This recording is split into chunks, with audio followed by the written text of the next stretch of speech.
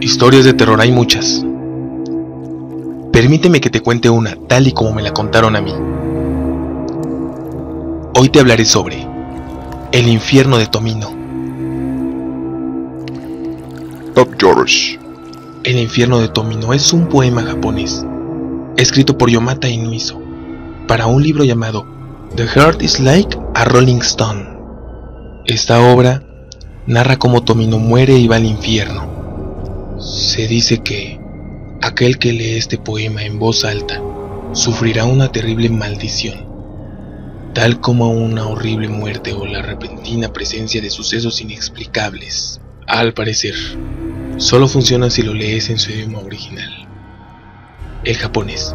Por tal razón, te mostraré una versión traducida al español.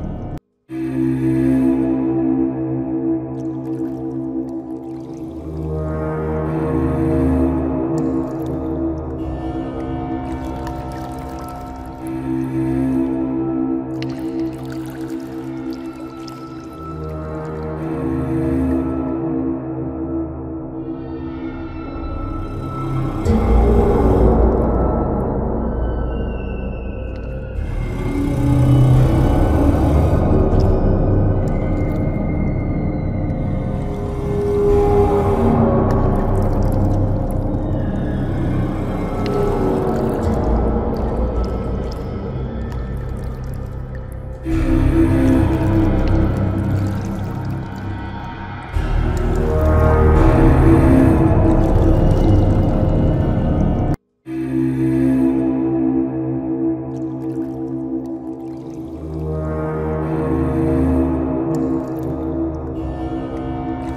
tú te atreverías a leerlo en voz alta? ¿Qué opinas? ¿Te gustaron los datos? Si es así, dale like y suscríbete a mi canal. Constantemente subo videos como estos. ¡Hasta la próxima!